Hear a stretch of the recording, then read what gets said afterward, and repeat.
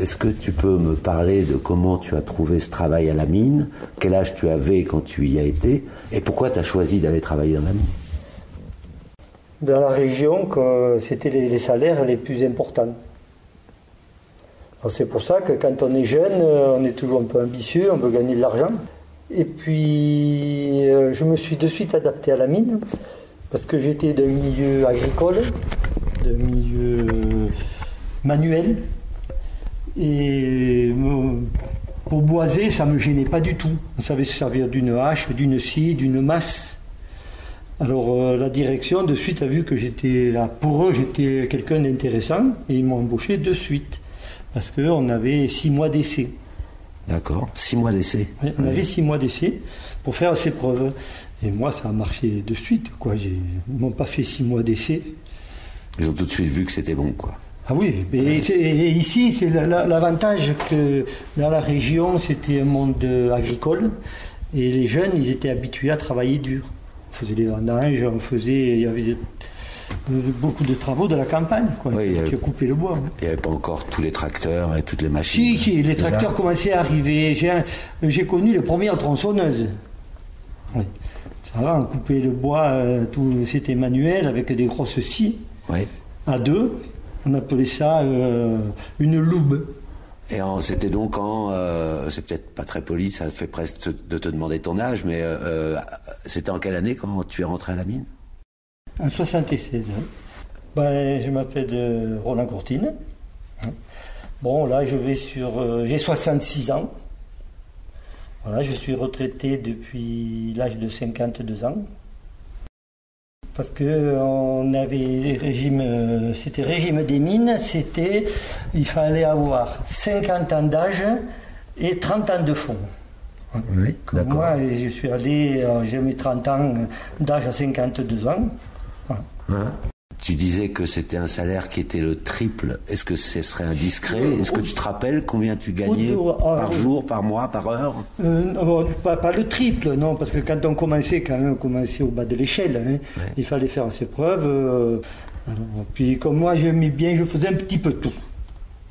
Euh, quand il y avait un éboulement, j'allais faire aider à l'éboulement. Je travaillais avec un monsieur qui m'a appris énormément de choses, qui faisait que ça. Puis euh, on conduisait le train. Il y avait le train. Des fois, après la, après la journée, euh, je restais au fond et conduisais le train pendant deux heures, le temps qu'il y ait la relève. D'accord. Le, train, c'est. Alors, c'était une loco électrique qui tirait 11 wagons. alors, il y avait 10 wagons de 10 tonnes. Et le dernier wagon, c'était un wagon qui avait la caméra. D'accord, donc le train servait à sortir le minerai.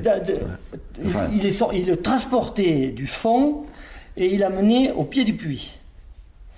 Et du pied du puits, on le baignait et il descendait dans une bascule. Et le, la cage ou le skip, il arrivait contre la bascule. Et quand la bascule avait ses 10 tonnes, hop, elle baignait dans le, dans la cage. Dans la cage pour, remonter. oui. Mais là, c'était automatisé. Une journée de travail euh, euh, de quand tu as commencé dans les mines à l'Argentière, est-ce que tu peux me raconter une journée type? Oui, parce qu'on faisait 8 heures euh, par jour. Et comme moi, je travaillais dans les failles. Alors, les failles sont les chantiers boisés, qui a une grosse concentration de plomb. Mais tout le travail était effectué manuellement. Alors le matin, le chantier était propre, on arrivait, on boisait, après on perforait, on mettait les explosifs et en fin de poste, on tirait.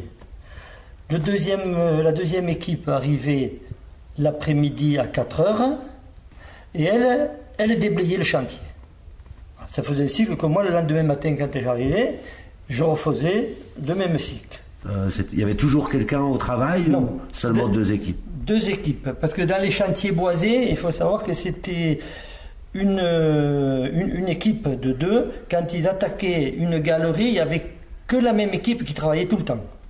Comme ça, lui, le gars, il connaissait son boulot, il savait ce qu'il avait fait. S'il y avait un endroit, il y a un cadre qui, qui, cassait, parce qu'il savait que lui, il fallait qu'il le refasse.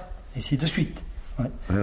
bon, le, chef, il passait dans la journée, mais les chantiers qui étaient un peu un peu dangereux, quoi. Il, passait le matin, on, discutait un peu avec le chef pour voir ce qu'on fait, comment on s'organise. Parce qu'on n'avance pas euh, comme on, avance dans, l'eau, quoi. Hein. Oui, oui, oui, il faut choisir dans quelle direction et quoi, la, la, direction, c'était pas le problème, parce que vous le voyez. Euh, le, plan, on le voyait. Oui, oui, d'accord. Alors, on, le suivait à l'œil. On suivait à l'œil. Mais il y a des fois qu'il y avait, on appelait ça un accident. C'est que le, le gisement, il s'était décalé. Vous arriviez, euh, surtout quand on faisait la première tranche, on ne connaissait pas trop. Après, bon, on arrivait, mais c'est plus de minerai. Alors, ah, bah, bon, on, savait qu'il était pas loin, parce qu'on appelait ça un accident, et c'était décalé. C'était décalé, ça avait glissé. Euh, Alors, ben, euh, on savait, en fonction, on savait qu'il s'était décalé du côté gauche ou du côté droit, on le savait d'avance, parce qu'en voyant la, la nature du, de, l'accident. Oui, oui.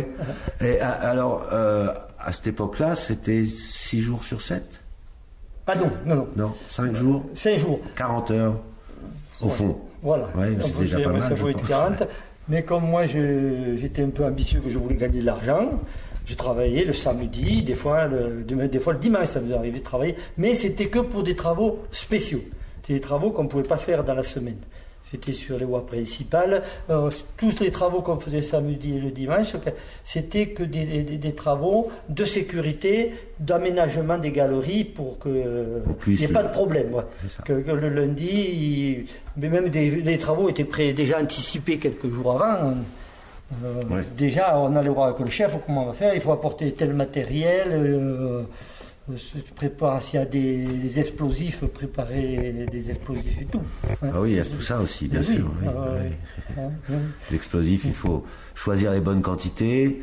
Oui, les détonateurs. Les détonateurs, les régler, comme tu disais tout à l'heure, euh, ah, ben euh, pour que ça pète en, série, un peu comme aujourd'hui les gens qui font tomber les immeubles avec des explosifs. C'est exactement pareil. Voilà. C'est pareil. oui, parce que les explosifs, ils vous, les, ils vous les tombent comme ils veulent. Hein. Ils vous les cisaillent sur place ou ils vous font tomber à droite, à gauche. Euh, hein. Alors, euh, euh, il y a combien de kilomètres de galeries sous l'Argentière comme ça? Ou il y en a eu combien Puisqu'apparemment, on les rebouche au fur et à mesure, certaines d'entre elles? Alors, officiellement, je ne sais pas, hein, pas. Mais à une époque, on disait ça, c'est au conditionnel. Mais ce n'était pas euh, des ouvriers qui disaient, c'était la direction qui en parlait. On avait estimé à 1000 km. Avec, euh, tout en sachant qu'on prenait les tranches remblayées. Hein, oui. Des filles, oui, tout compris. Tout compris. Ils disaient jusqu'à 1000 km. C'est énorme. Ben oui, mais on, prenait sur 30-40 mètres de hauteur des galeries de 100 mètres. Ouais, Ça, semble énorme. Eh ben ça semble énorme. Et de combien en moyenne on avance par jour Alors, les, chantiers boisés, les, qu'on appelle les failles, 1m50. Parce qu'il faut faire le soutienement. Et alors, on, même, euh, on, avait des, des, forêts qui faisaient 1m50, 1m60, pardon, ils faisaient 1m60.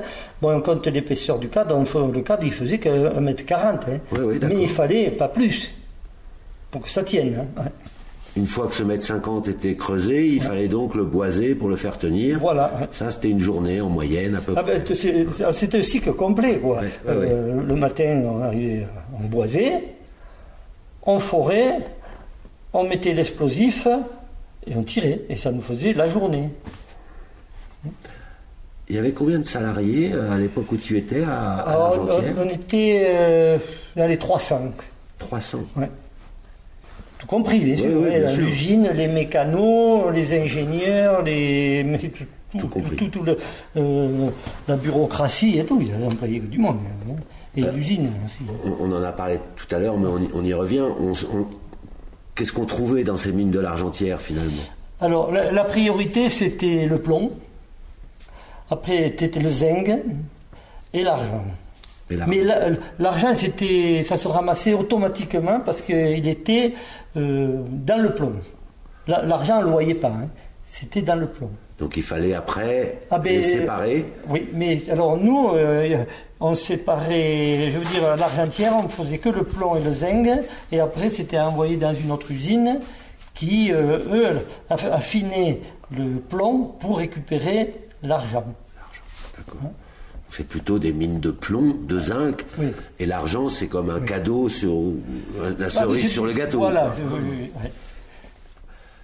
Mais alors, ça, peut-être, c'est pas à l'époque où tu y étais, mais quand, euh, euh, au début de ces mines de l'Argentière, euh, il, y a mille ans, hein, comme on raconte, les gens, ils n'allaient pas y chercher du plomb, ils allaient y chercher de l'argent. Ah, non, c'est le, en priorité, c'était le plomb. Déjà à cette époque-là Et eh oui, parce que le plomb, vous savez ce qu'ils s'en servaient? Ils s'en servaient pour construire. Oui, parce que, quand vous avez des, euh, comment dirais-je, euh, le palais des papes, on va prendre un exemple, le palais des papes à Avignon, hein, comme tout le monde le sait, il y a une, tour. À la cime de la tour, vous avez des avancées qui se, se demandent comment ça tient. Quoi. Alors, ils mettaient des tiges de fer qui étaient crochetées il y en avait. Alors que quand la pierre dépassait, il, faisait un trou à la pierre et un trou à la pierre du fond du mur, hein, et il, mettait ses ferrailles et il les coulait avec du plomb. Les trous, les, ancrages, ils étaient coulés. Oui.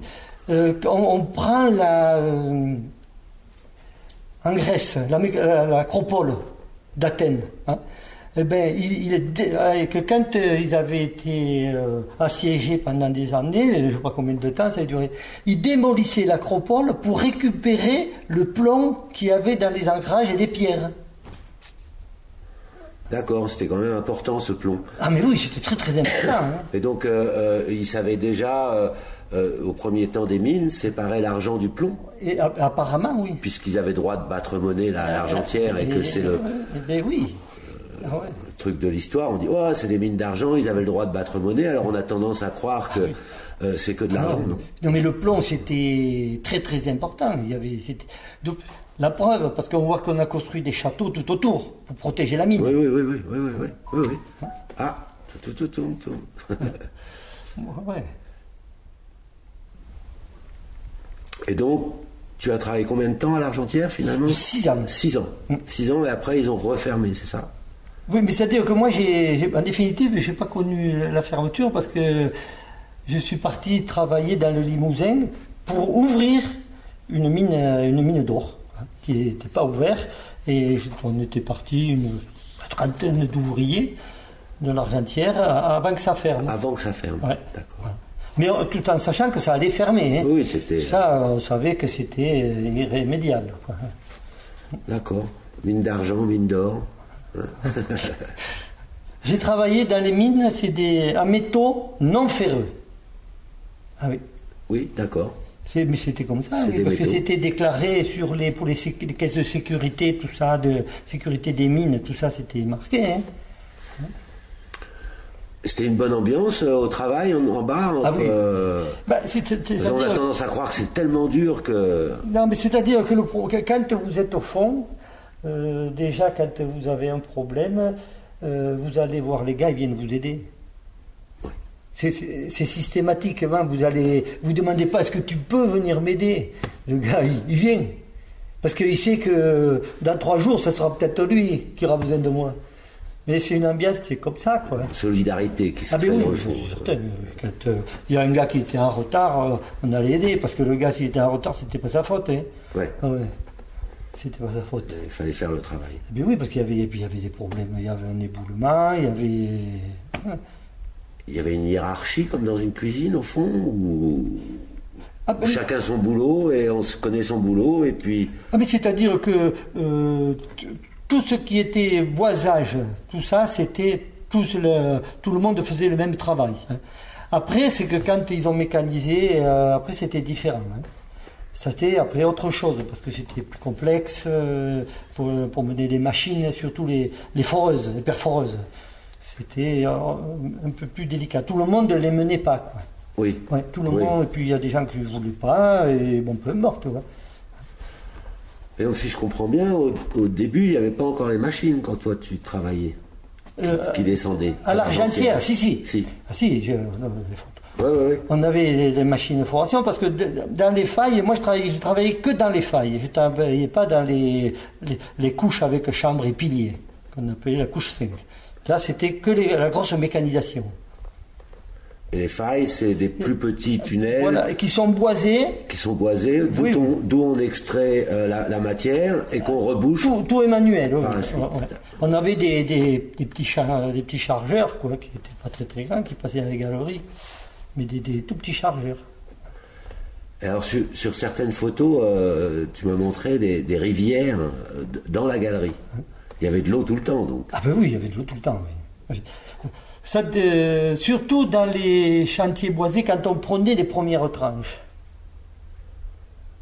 Parce qu'après que l'eau elle venait monter de, du fond, hein. alors là, les premières tranches, il y avait plein d'eau. Il fallait déjà que toute la tranche en montant ses, gouttes. Comme une éponge qui se vide. Voilà, après quand c'est sec, c'est fini, mais dessous, l'eau, elle monte. Elle monte en permanence. Et donc il faut l'évacuer. Ah, bien, certain. Sinon, il faut apprendre à nager. On n'est pas là. c'est incroyable. Une équipe avec toi pour faire ce mètre 50, vous étiez quoi 8 10 2. 2. 2. 2. Voilà. D'accord. Il y a, euh, mais c'était deux, personnes qui étaient qui boisaient et foraient. Hein. Ouais. On ne peut pas dire l'un qui faisait que le boisage, l'autre la foration. Non, les gens, ils étaient les deux, ils étaient autonomes. Hein. je veux dire, ils se débrouillaient. Euh, il y en a un édité aujourd'hui, c'est moi qui boise, euh, le plus fort, ou vice versa. S'il y en a un qui avait un peu, un peu, des fois, ça arrivait qu'on avait des coups de fatigue. Je veux dire, vous êtes fatigué, un peu malade, ici, là. Bon, euh, allez, euh, non, mais euh, il, faisait ce qu'il avait. Il faisait son travail qui était un peu, un peu moins dur, quoi. C'est tout, des deux. Mais tout en sachant, quand on forait, on forait à deux. Hein. On boisait à deux. Parce que le, perforateur, c'était T21. C'était quand même des marteaux qui font 21 kilos. Et ils sont montés sur des poussoirs électriques. pardon, électriques à air des, pneumatiques. Mais après, il fallait les tirer. Quand on faisait une du pied, il fallait les ressortir à la main. Quand la tige était à 1m50. Hein. Et des fois, euh, il y avait des cassures, ils se, bloquaient, il fallait taper pour, euh, à la masse pour les décoincer. Oui, oui, un travail de titan. Puis, on utilisait beaucoup la masse. C'était parce qu'on faisait des coins pour caler. Hein. Il fallait les, caler, les bois. Et les, bois, euh, vous les descendiez? Ah oui. Et c'est à chaque fois des nouveaux bois, si j'ai bien compris. On récupère pas les vieux bois Ah non, non, non, de toute façon c'était impossible. Trop tassés, trop serrés. Trop, oui, et puis ils étaient calés, et ça, ne servait à rien du tout, et puis on ne pouvait pas les récupérer. Les bois, ils étaient euh, restés dans le remblayage. Et quelles sont alors les, les, alarmes qui peuvent prévenir que tout va s'écrouler autour de soi quand on est au fond? Alors, dans le chantier boisé, c'était simple parce que les, quand les bois, c'est, c'est du pain, quand ça forçait trop, il se pliait et il cassait. Alors ça vous faisait pratiquement comme un coup de fusil. Un bois, quand il plie, il plie, il est en pleine tension, après il lâche, c'est d'un coup, hein, il lâche pas doucement. Hein. Alors ça faisait un bruit qui était... Vous l'entendiez bien, quoi. Ça, c'était euh, signal d'alarme, où on change celui-là, ou on s'enfuit, quoi. Ah, le, premier, non, mais après on surveillait tous les jours au fur et à mesure. Euh, parce que s'il y en avait un qui avait cassé, c'est qu'il y avait quelque chose. Hein. Bon, il cassait pas pour rien. Hein. Apparemment, tu, disais, de toute façon, ça pousse toujours. Euh, ah oui, dans les failles, euh, comme je disais, il y avait le plomb qui était coulé contre cette, cette argile verte, on appelait ça de la marne. Et quand on avançait cette marne, c'était pas très épais, ça faisait peut-être 20 cm et elle séchait et elle cassait. Alors comme ça tenait plus, il y avait des, schistes qui étaient à l'horizontale derrière, et eux, c'est eux qui poussaient. Et ça vous pétait, on appelait ça les pieds. Hein. Du côté droit, vous pouviez avoir les pieds qui bougeaient jamais, parce que c'était le dur, et 1m50 à côté, les, les pieds qui, cassaient. tellement ça forçait. Alors on les, il fallait les changer. On, mettait des cadres à côté. Et euh, tu, tu disais donc là dans les galeries boisées, c'est ça, et dans les grandes galeries, tu parlais tout à l'heure de, euh, j'ai oublié le nom, Des étançons pour, cont- pour contrôler euh, Ah non, mais alors, alors c'était les piquets de convergence. piquet de convergence. Ça, c'est piquet de convergence. C'était pour euh, voir, euh, mais c'était pas dans les chantiers boisés. Ça, c'était dans les, dans les, dans les chambres et piliers qu'on appelait notre méthode d'exploitation, qui était fait que pas de, des, des Machine. euh, grosses machines. Quoi. Et euh, là, on mettait de part en part des piquets de convergence pour voir si le, le- le- comment réagissait le sol. Le, le plafond, est-ce qu'il descendait plus ou moins. D'accord. Hein. Et, et, euh, euh, vous avez remarqué au fil du temps que donc au mois de décembre, au mois de janvier, Ouais, C'était la période où le terrain travaillait le plus. sans aucune raison. euh, Ben, euh, du moins, moi, je le sais, je ne peux pas vous le dire. oui, oui, mais c'est Ah quelque oui. chose que tu as remarqué. Ah oui, mais tout le monde le Tout savait. le monde, décembre, janvier, Ouais, ouais. la terre bouge plus. Ouais.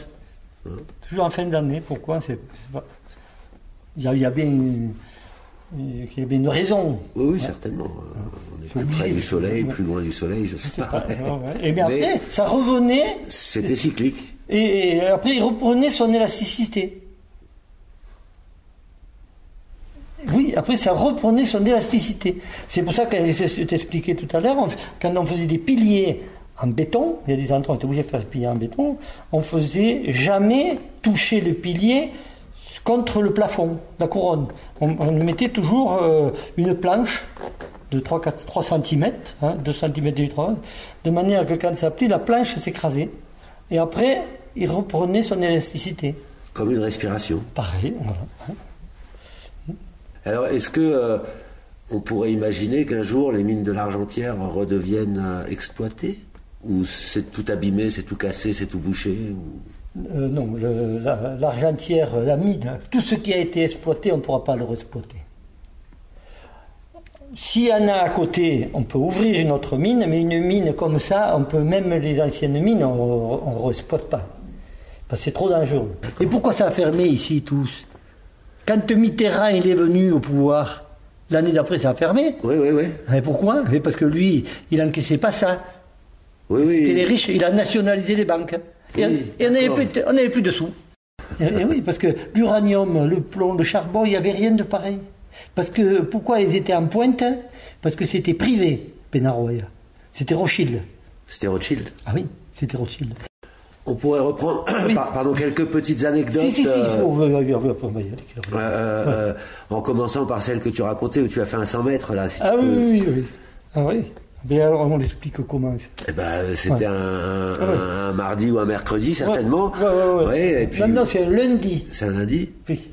Voilà. Parce que si c'était le mardi ou le mercredi, euh, c'était à milieu de semaine, on aurait pu mieux avertir.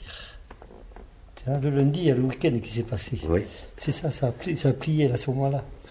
Sans que personne Eh, s'aperçoive des prémices. eh, et, euh, tu, tu- tu descends, bon, tu euh, c'est t'es- t'es t'es pas à Versailles, hein, c'est pas, pas l'éclairage des galeries là-bas de Versailles, Ouais, au fond. De- Combien de temps tu mets pour entre le moment où tu es habillé, que tu commences à descendre, à rejoindre ton poste de travail? Oh, il faut. euh, on, on attend au puits. Oui. la cage, quoi. Mais dès qu'on descend du puits, on mettait à pied un bon quart d'heure, quoi. Quand même. Oui, à pied, oui. oui. Oui, parce que des fois, on- au fond du puits, il y avait un fourgon qui nous attendait pour nous amener au chantier, un chantier qui était très loin. Ah Oui, les, les engins, les chauffeurs, ils allaient au garage, et au fond, ils prenaient leur engin, et ils allaient sur les chantiers, quoi. Ah oui. Mais nous, des fois, on, on avait un fourgon pour nous. Voilà, donc ça faisait trop loin. nous.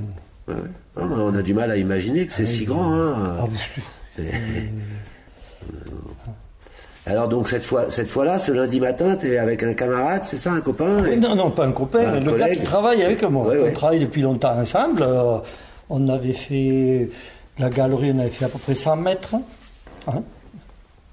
Ça, euh, ça faisait trois, trois mois qu'on travaillait là, sur cette galerie. Et les bois, euh, à force, ils, ils forcent. Ils forcent. Alors de temps en temps, on voit quand ils ont trop qui, qui, qui- qui cassent, on en remet un autre à côté, et ainsi de suite. Puis un jour, on travaillait et on a entendu un bruit comme un coup de fusil. On se retourne avec le collègue il y a un cadre qui a pété. Bon, de temps en temps, ça arrivait. Alors, pas plus, on continue. Puis un deuxième cadre qui, qui lâche. Là, on a commencé à se poser un peu des questions. On se retourne, on va voir.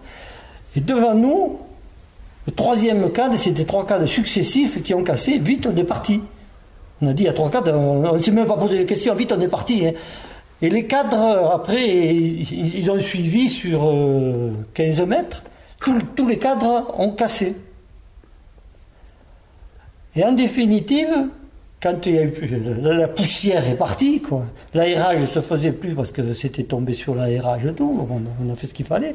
Quand il n'y avait plus de poussière, et on s'est rendu compte que c'était la masse, c'était un plomb qui était très concentré, cette masse de pont s'était décollée, désolidarisée de, de son ensemble et s'était posée sur ses cadres. Et à force, le poids, le poids, mais après, quand on est revenu, euh, il y avait 1m50 de, de minerai par terre, et on regardait au plafond, il y avait un plafond qui était lisse. C'était pas possible de le dire. Ben, Qu'est-ce qu'on a fait? Bon, on a, au fur et à mesure, on a dégagé et on a reposé nos cadres. Et après, ben, on a recontinué. Euh, le, le, plafond, s'il était lisse, c'est finalement parce que. il était décollé.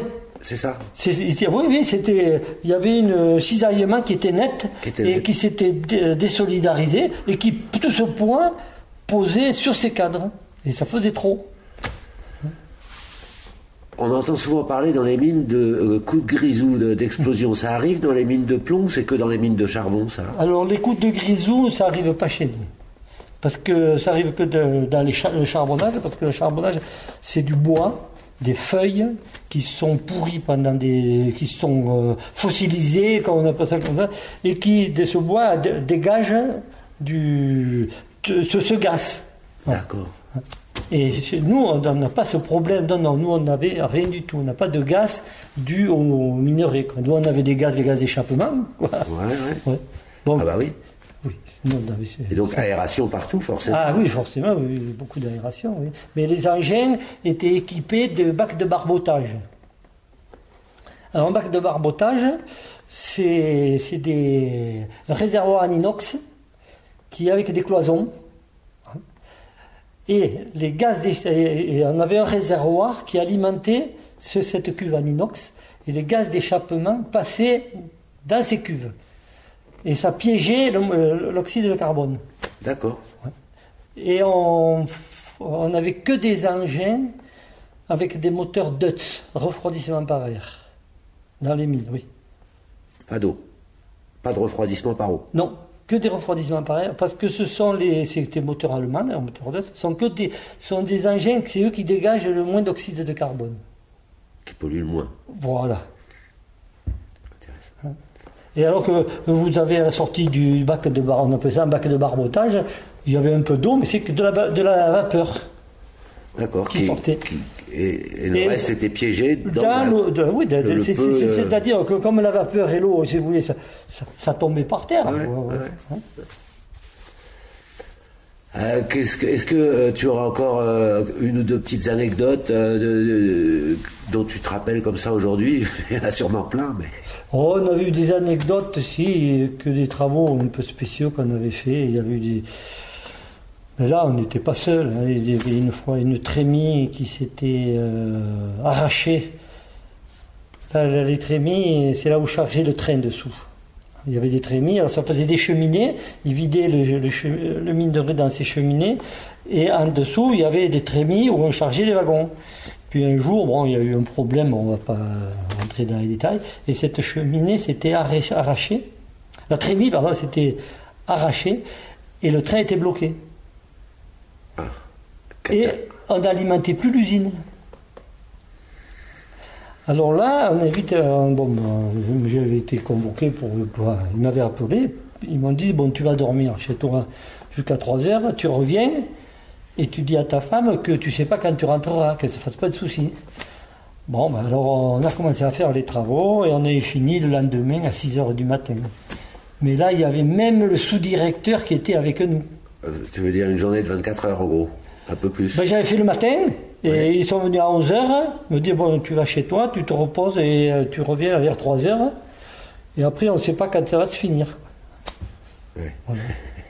Et vous avez dégagé le train ah ben oui, oui que, parce que l'usine, elle était bloquée. Oui, oui, oui, on ne pouvait pas tourner. Bon, il y avait toujours un petit peu de stock dehors, mais on ne savait pas comment ça allait se produire. Hein, parce que la cheminée, il y avait 200 tonnes de minerais dedans. Il fallait les caler, ces 200 tonnes, pour remettre la, la, trémie en place.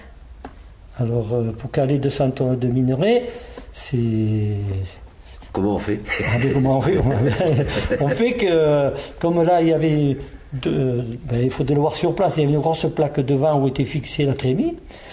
On a percé, parce qu'il y avait un chaudronnier avec nous, hein, on a percé des, trous tous les 10 cm et on a enfoncé des grosses barres qui faisaient 60, euh, 60 à pointer et on les a enfoncées à la masse. On a traversé le, filon, la cheminée, pour ancrer de l'autre côté dans le dur. D'accord. une, fois à l'auto, il y avait peut-être 25 barres. Hein. Hein. Et après, on, a, on est arrivé à ouvrir un petit peu la, la, la trémie et on a tout vidé ces 10 tonnes à la main. Ouais, hein. Et après, avec des palans, des treuils, on a remis, et des vérins, des gros vérins, on a remis la cheminée, la trémie en place. Bon, les chaudronniers étaient là, euh, aussi, ils ont fait un travail qui était remarquable. Quoi. c'était, toute une équipe, quand on fait des travaux comme ça. Hein. Et, là, après, il a fallu enlever les, barres hein, qui tenaient les 200 tonnes de minerais. Alors les barres, et, euh, le chaudronnier nous avait soudé des, des maillons de chaîne en bout de barre, et avec des palans, on le tirait mais il n'est pas là manuel. Et il faut savoir qu'on n'avait pas beaucoup de place, hein, parce qu'il y avait le train et tout dessous. Oui, tout ça sous la terre. Et après, avec des palans, euh, on arrive, parce qu'il a fallu ancrer des tiges de l'autre côté pour fixer les palans. Alors on faisait des, des tiges, comme vous expliqué, des tiges avec de la résine, quoi. Et il a fallu tout arracher. Et jusqu'à quelle profondeur sous terre ça descend à l'Argentière, ces mines Oh, je ne sais pas exactement. Je... De, quel ordre? Oh, On descend à peu près de, 300 mètres. Quand même. Euh, mais ça, je ne pourrais pas exactement. Parce que, oui, c'est pas 30, c'est 300. Des... Ah, oui, oui, ça descend. Parce qu'il y a le puits. Oui, c'est bien simple. Que quand vous voyez la hauteur du puits, oui. Hein, bon, il, faut, euh, il, faut, il y a autant en dessous du puits, même plus profond. Parce que le haut du puits, c'est le, câble qui descend la machine jusqu'à cette hauteur, il ne peut pas descendre plus bas. Ah, ah. Alors ce qu'on avait là, on avait des camions qui, remontaient de plus profond et qui remontaient dans les cheminées. Et dans les cheminées, c'est nous qu'on passait dessous avec le train pour aller au puits. Hein? Alors, alors les gens, ils disent, il y a des gens qui disent, mais là, le, le puits, les gens qui ne connaissent pas, ils en parlent. Ah ben c'est la, profondeur de la mine. Non, c'est pas la profondeur de la mine. C'est la profondeur de, de, de, De la cage, tout ça. Oui, c'est ça, c'est tout. Parce qu'en haut, il y a un moteur qui est énorme. Hein. Oui, j'imagine, oui. Ah, oui, un moteur qui est énorme. Là aussi, pareil, on, une fois on a changé les câbles du puits, c'est un travail qui est. Vous savez quand vous descendez, mais vous ne savez jamais quand vous remontez. Hein. Et c'est ça, c'est, on a eu changé le câble du puits, c'est un travail énorme. Hein. Hein et donc ce site de l'Argentière, on l'a dit tout à l'heure, euh, euh, on pourra éventuellement faire des mines à côté, mais pas réutiliser les mines là. Et tous ces bâtiments, tous ces terrains au-dessus, euh, c'est des terrains, c'est très pollué, il y a du plomb partout, ou ça pourrait être réaménagé pour en faire quelque chose? Dessus, il n'y a, a que si vous voulez que. On ne peut pas dire